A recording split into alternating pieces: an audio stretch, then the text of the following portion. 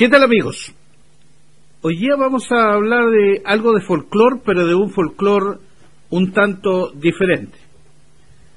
Tal vez son parte de la historia folclórica de nuestro país el sonido del organillo.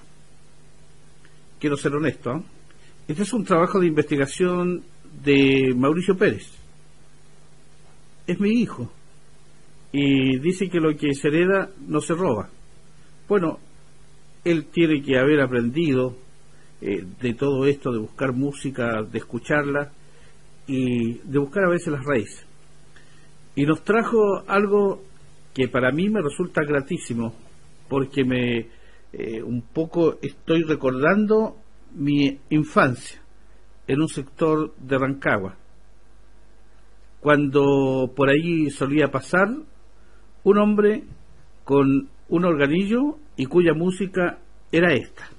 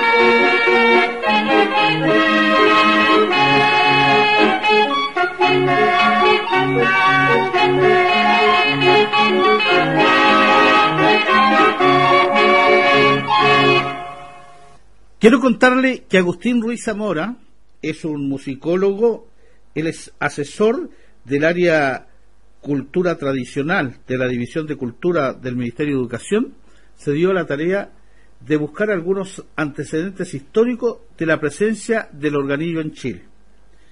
Pese a que la existencia de los primeros organillos data del siglo X, en Europa su aparición en Chile no ocurrió sino hasta el año 1895.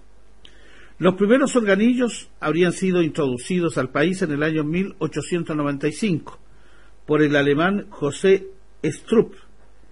Este antecedente ha permitido, junto a otros testimonios, determinar algunos hitos para precisar la historia de un oficio que por su existir silencioso relega los datos de su origen a la memoria de sus propios cultores. Escuchemos esta música tan especial que era el organillo.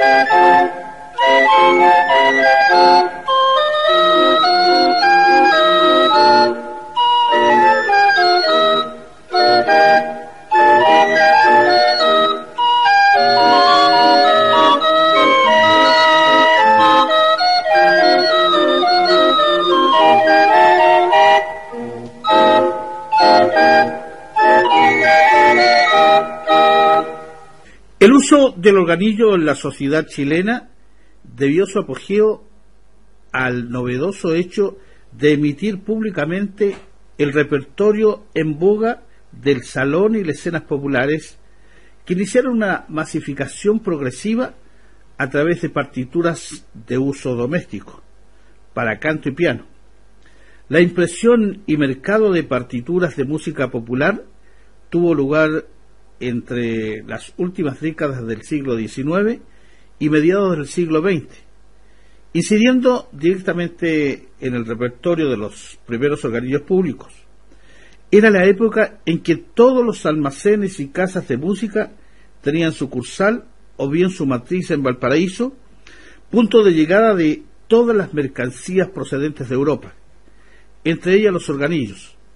Estos almacenes que operaban como editores de música, gracias a que estaban premovidos de imprentas propias, jugaron un importante rol tanto en la internación de modas musicales como en la renovación tecnológica de reproducción mecánica de la música.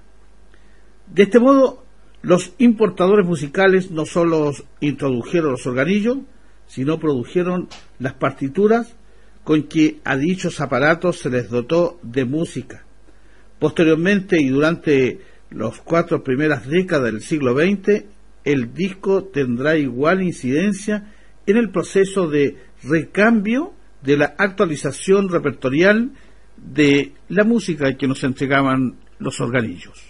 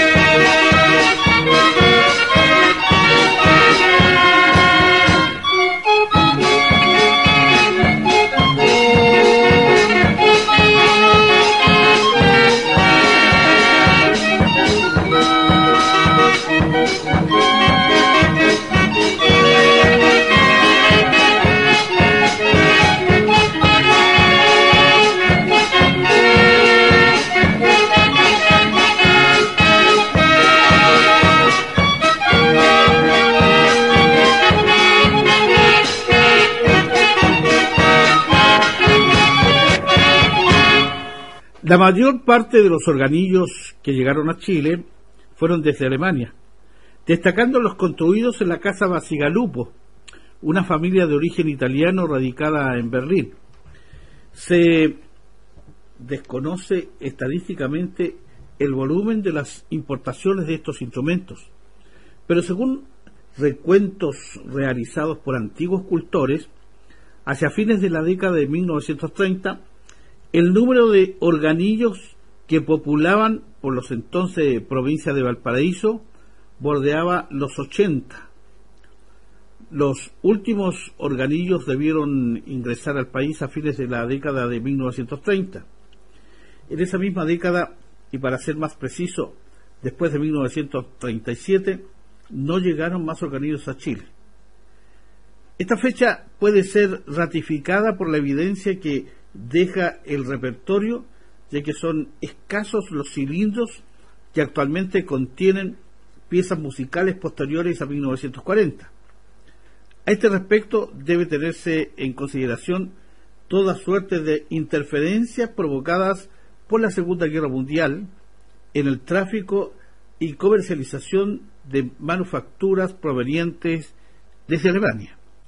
Eh, ¿Y cómo nos, no nos íbamos a ir despidiéndonos? Con una cueca tocada en organillo. ¿Qué le parece?